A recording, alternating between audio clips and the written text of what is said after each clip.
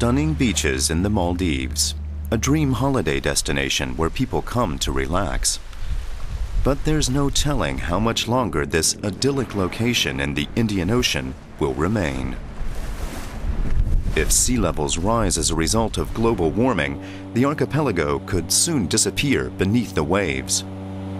Scientists all over the world, including those in Germany, are looking at ways to prevent this from happening.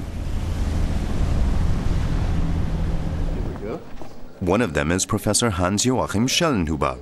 The leading international climate researcher heads the Potsdam Institute for Climate Impact Research. He says as temperature levels rise, we have to adjust our behavior accordingly.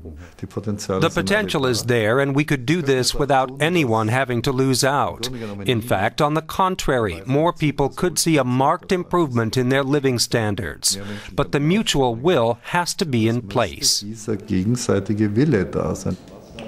That's why many years ago the professor argued in favor of the two degree target. The world mustn't get any warmer, he says, otherwise, the effects will be catastrophic.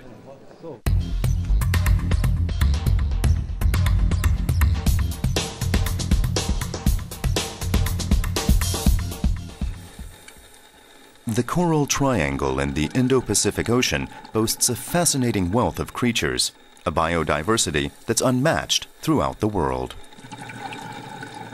That's why Kimbe Bay in Papua New Guinea is a marine conservation area where destructive fishing practices are banned.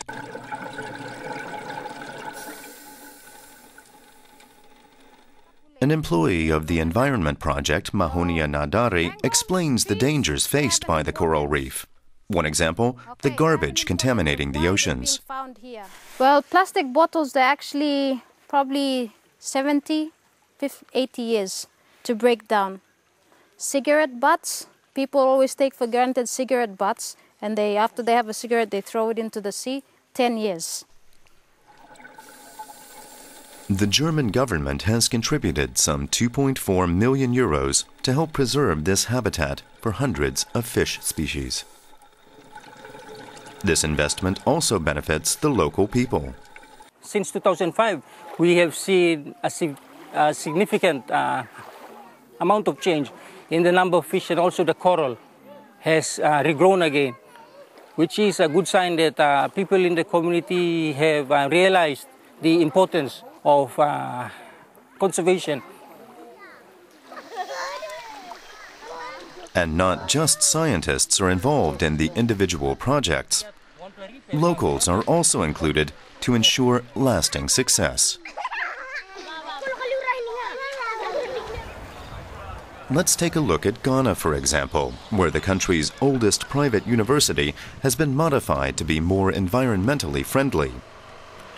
This is a German environmental project with a clear goal to free the university from all dependence on fossil fuels.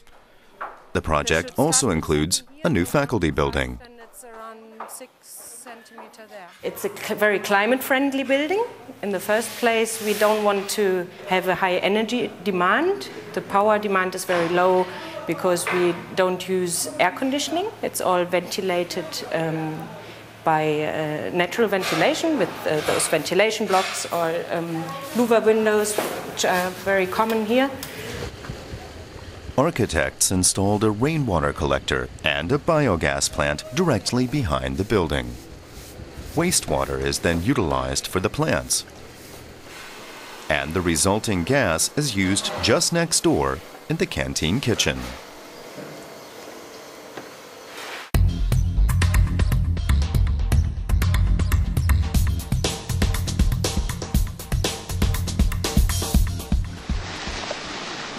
Although the majority of the Earth's surface is covered by ocean, much of it remains largely unexplored. Pedro Martinez Arbizu, a marine researcher in Wilhelmshaven, wants to change that. He's taken part in the worldwide project Census of Marine Life, catching fish such as this whip-nose angler. There's always a lot of excitement on board whenever a net like that comes in full of big fish. We go straight to the books to see if it's a classified species or not. The marine biologist has also taken microorganisms from sediment samples.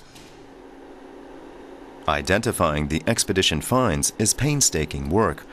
There are still many unknown species in the ocean depths. It'll go on for many, many years. We've identified 500 new species in our project, but there are still many thousands more yet to identify.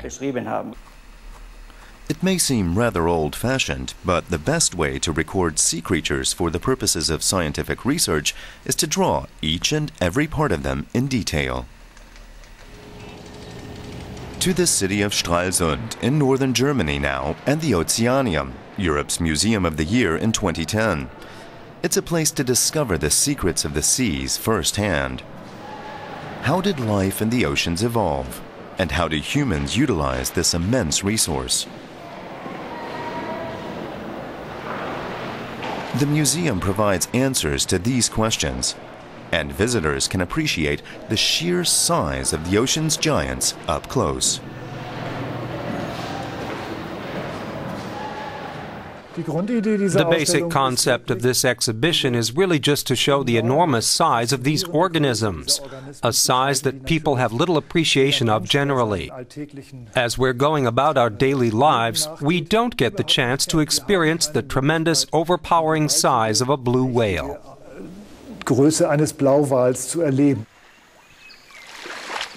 It may look idyllic, but the seas also harbor many dangers dangers that are being investigated in the Alps. The German Aerospace Center has been carrying out tests here on GRIPS, an infrared measuring device that listens for tsunamis high up in the atmosphere and can issue warnings before they hit land. The um, aim of establishing early warning systems is always to minimize the sounding of false alarms. That's why we've got all these different sensor systems, systems that work independently of each other to glean as much information as possible during the early stages of a tsunami. The Potsdam researchers are dedicated to ensuring that a catastrophe like the one that devastated Southeast Asia in 2004 doesn't happen again.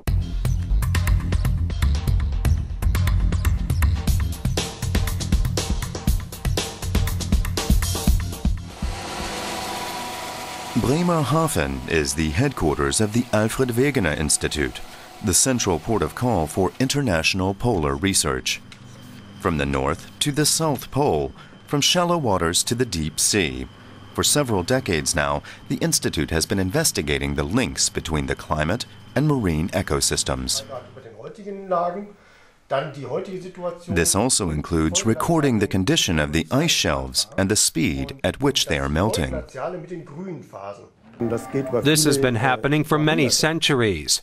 But even over a period of a thousand years, bear in mind that in 100 years sea levels would rise by 70 centimeters. That's 7 millimeters each year. That's no small amount.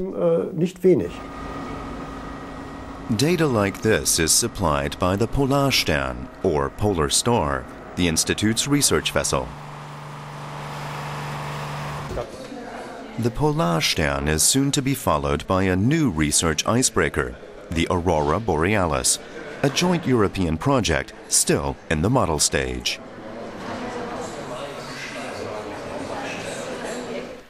Ich werde in February of 2009, German Minister of Education and Research Annette Schavan opened the German Antarctica Research Station from Berlin. Spirits out at the Neumayer station were high.